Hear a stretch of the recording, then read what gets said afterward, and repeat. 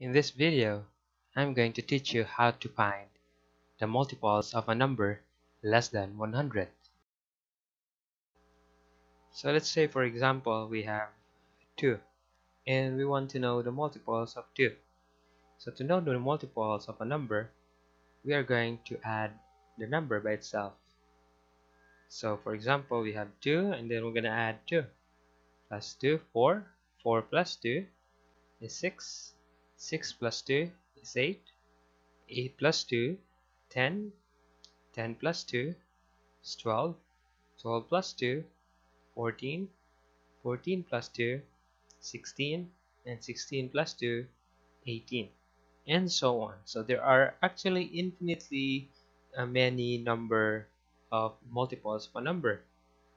So we will just end up to 18 because we don't have enough space and we still have some other examples so another example we have 5 and we want to know the multiples of 5 so to do that we'll just keep on adding 5 on the number 5 so 5 plus 5 is 10 10 plus 5 15 15 plus 5 20 20 plus 5 25 25 plus 5 30 30 plus 5 35 and 35 plus 5 is 40 for 25 we add 25 to 25 or we add a number by itself to know the multiples of the number.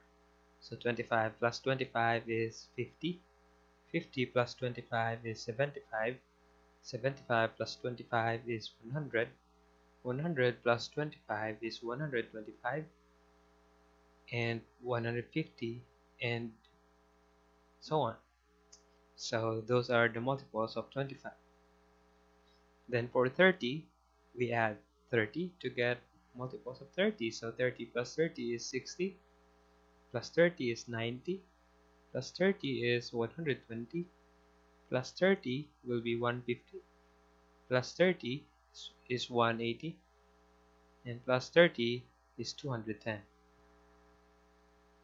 last for 50 so to get the multiples of 50 we'll add we'll keep on adding 50 so 50 plus 50 is 100 plus 50 is 150 plus 50 is 200 plus 50 is 250 plus 50 is 300 and so on and so, and so on with when you keep on adding 50 you will keep on getting a multiple of 50 so that's how you get the multiples of a number now what if it's like this? Which of the following which of the given numbers below is a multiple of 36 so we have these numbers. And our task is to know if it's a multiple of 36 now it's gonna be long if you're going to list all the multiples of 36 so that you will know that these numbers are multiples of that number.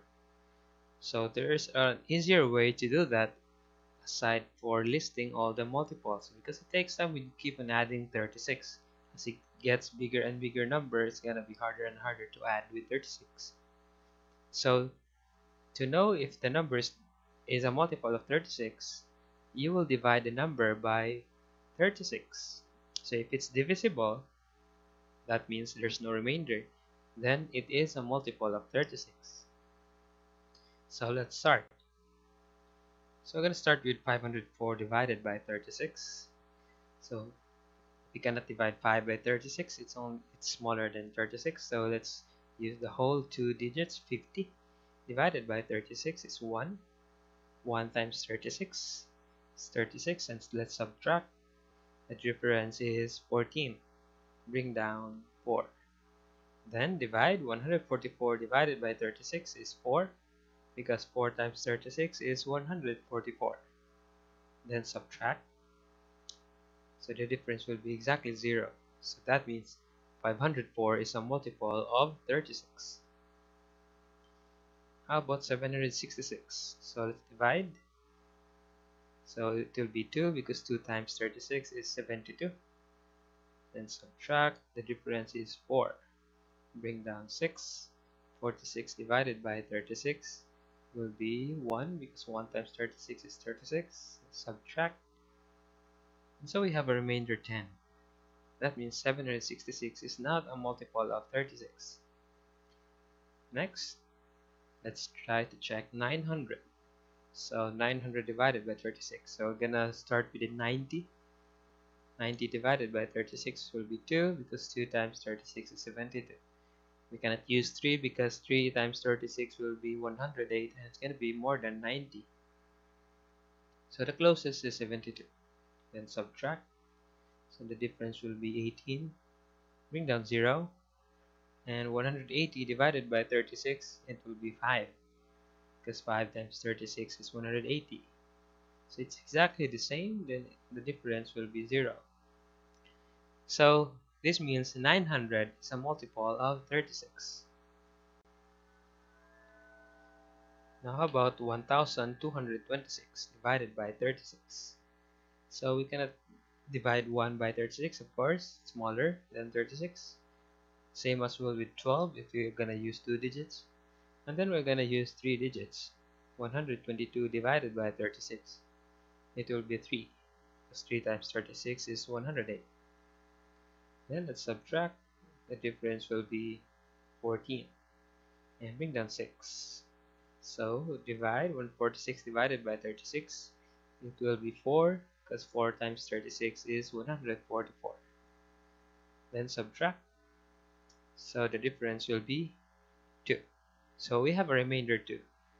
This means 1226 is not a multiple of 36.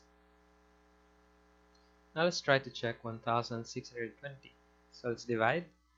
So we can use three digits so that it's possible to divide with 36. 162 divided by 36 is 4 because 4 times 36 is 144.